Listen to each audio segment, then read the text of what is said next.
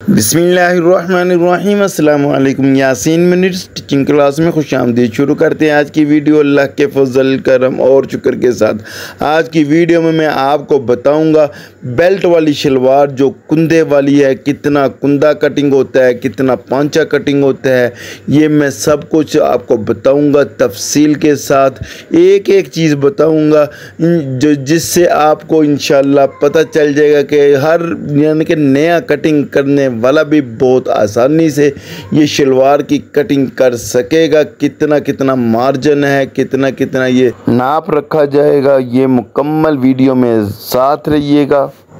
इन आपको फ़ायदा होगा और कटिंग भी आसानी से कर सकेंगे। ये कपड़े को हम नापेंगे। ये जैसे फ़ोल्ड किया, चार हिस्सों में फ़ोल्ड किया हुआ है। चार हिस्सों में इसको नापेंगे तो ये ट्वेंटी फोर, यानी कि चौबीस इंच इसका ये लंबाई नज़र आई है, इसको जब डबल करेंगे तो ये फोर्टी एट यानी कि ये कपड़ा जो सा है, ये ढाई मीटर है शिलिंग होके भी दो तीन इंच शिलिंग हो और इसमें आसानी से कटिंग होगी।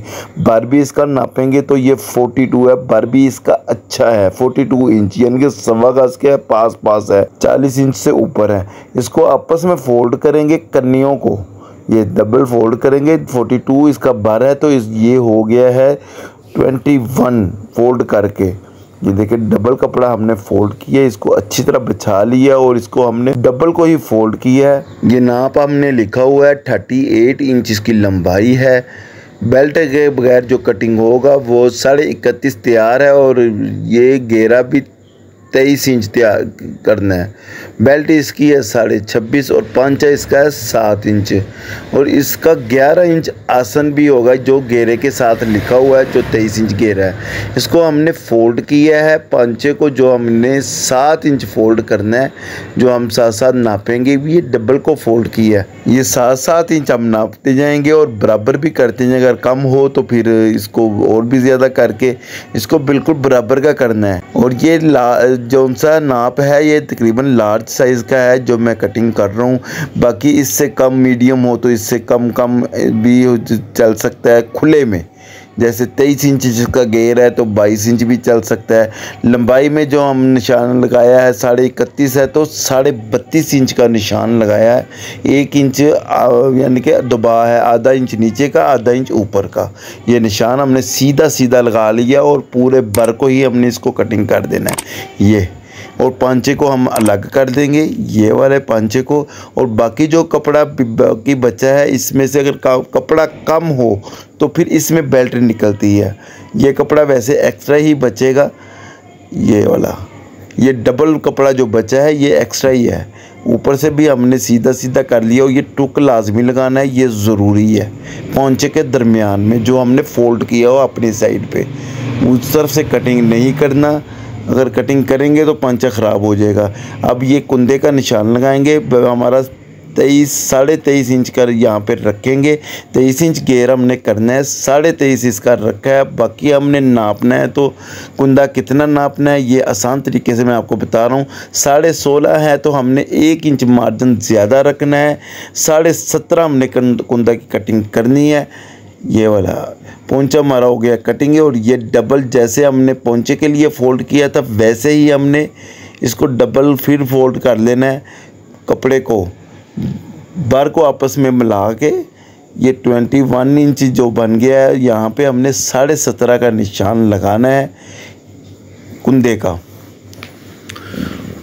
ये देखें, ये दूसरा भी निशान लगाएँगे, तकरीबन दस इंच छोड़ के लंबाई भी इसकी निशान लगाएँगे, साढ़े इकतीस इसकी लंबाई है बेल्ट के बगैर। तो हमने साढ़े बत्तीस का ये भी निशान लगाया है।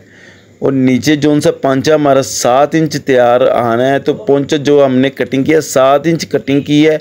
साढ़े छः उसमें से बचना है तो छः इंच बाहर रख के हमने इसको निशान लगा रहे हैं। ये। क्योंकि साढ़े छः इंच वो अंदर की तरफ़ आना आधे इंच, ये दो इंच हमने नीचे की तरफ़ जो निशान लगा है, ये हमने यहाँ से 11 इंच आसन का निशान जो हमने गिरे के साथ लिखा था नाप में। 11 इंच का निशान लगाना है मुकम्मल, वैसे 10 इंच आसन बेल्ट के बगैर आएगा यहाँ पे।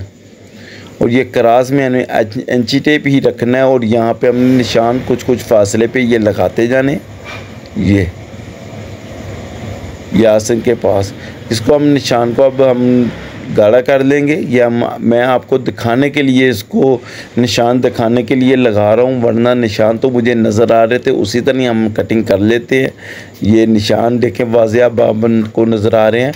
और ये निशान के ऊपर ही रख के इसको हमने कटिंग करना है कुंदे को। ये। बिल्कुल निशान के ऊपर, ये करास में अरेब होता है तो ये वैसे इसको बिल्कुल बराबर का रख के हमने कटिंग कर लेना है। ये कुंदे हमारे कटिंग हो गए हैं। ये दो कुंदे कटिंग हुए हैं, जो दो बाकी जो कटिंग करने हैं, वो भी देखिए किस तरह कटिंग करने हैं। ये बाकी कपड़े को हिलाना नहीं है, यानी कि सीधा बराबर का रख के इसके ऊपर ही रखना है दूसरे दो कुंदे, जो हमने कटिंग की हैं। और नीचे भी डबल कपड़ा है। ये बराबर का रखेंगे, ये देखिए खुद ब खुद बराबर बैठते हुए, ये बिल्कुल साइडों से हर तरफ़ बराबर रख के इसको भी हमने कटिंग कर लेना है, जो कुंडे हमारे मुकम्मल हो जाएँगे चार अदद। ये देखें किस तरह बराबर बराबर का रख के हमने कटिंग करना है, ये हर तरफ़ से कटिंग कर लेना है एक जैसा। ये दरमियान में से भी हल्का सा अगर निशान बच जाए तो ये कटिंग कर लेते अगर थोड़ी सी फिटिंग हो तो यहाँ पे हल्की सी गुलाई करते हैं ये कुंदे में। ये कुंदे के दरमियान में जो है कपड़ा बचा है, इसको अब कटिंग कर लेना है। ये कुंदे को अलग अलग होना चाहिए, चार कुंदों को अलग अलग कोई भी कपड़ा आपस में मिला नहीं होना चाहिए। ये देखें अलग अलग है, चार कुंदे। ये कुंदे हमारे चार कटिंग हो गए हैं और पांचे भी हमारे कटिंग हो गए तो बेल्ट हमने कटिंग करनी है। ये डबल कपड़ा हमने नाप लिया। बहुत ही आसान तरीके से ये इतने कपड़े में तो कुछ बड़ा भी हो तो वो भी बन जाएगा। ये डबल हमने फोल्ड कर ली है। ये बेल्ट हमने जो पहले नहीं था लिखा, साढ़े छब्बीस इंच के साथ है, साढ़े आठ इंच इसकी चुड़ाई रखनी है। वैसे नौ भी रख लेते हैं, नौ अक्सर होती है, लेकिन इसकी जो है लंबाई वो साढ़े आठ इंच चौड़ाई है, लंबाई साढ़े छब्बीस है। ये सारे निशान साढ़े आठ इंच के लगाए हैं और साढ़े छब्बीस इसको तैयार करने तो एक इंच एक्स्ट्रा, साढ़े सताईस का निशान लगाया है। दोनों तरफ़ का आधा आधा इंच का दुबा, ये दो डबल पल्ले कटिंग हो रहे हैं। इसको निशानों को हम गारा कर लेंगे। ये आपको दिखाने के लिए निशान में लगा रहा हूँ, वरना कटिंग करनी हो तो ये निशान लगा लेते हैं। और ये दो दो इंच के निशान हमने और लगा लिए हैं। और ये बाकी बेल्ट का जो निशान ऊपर की तरफ़ भी लगाया है, ये भी हम निशान बराबर कर रख के लगाते जाएँगे, जो निशान साढ़े आठ इंच के लगाए हैं। ये। ये निशान हमारे लग गए, इनको हम कटिंग कर, ये दो पट्टियाँ हमने सीधी सीधी कटिंग कर लेनी है, पहले ही। बेल्ट को कटिंग करने से पहले, क्योंकि दरमियान से कटिंग नहीं होना चाहिए, मेरी तरफ़ जो सा फोल्ड किया हुआ है। अब हमने बेल्ट की भी कटिंग कर लेनी है, जो निशान लगाए हुए हैं। और ये माने अपनी तरफ़ से भी जो कपड़ा है, वो भी कटिंग कर लेना है, पट्टियाँ काटने के बाद। ये ये बेल्ट का पल्ला भी अलग अलग कटिंग हो गया है, और ये जो है, दो पल्ले कटिंग की है, और ये पांचे की पट्टियाँ भी कटिंग हो गई हैं। ये मैंने जो शलवार की कटिंग की है, चार कुंदे जो मैंने कटिंग की है, जो पांचे में भी दो, तकरीबन ए, एक इंच कपड़ा ज़रूर आएगा, दो इंच नीचे से कटिंग की है। और ये हमने जो पांचे तैयार किए कटिंग किए हैं, जो इसके साथ इस तरह मिल जाएँगे। ये, यहाँ पे, इस तरह। ये कुंदे और ये पांचे और ये बेल्ट और इसके अंदर ये दो पट्टियाँ जो कटिंग कर ली है, ये पांचे के लिए है। शलवार की कटिंग की वीडियो आपको कैसी लगी है, कमेंट में ज़रूर बताएँ।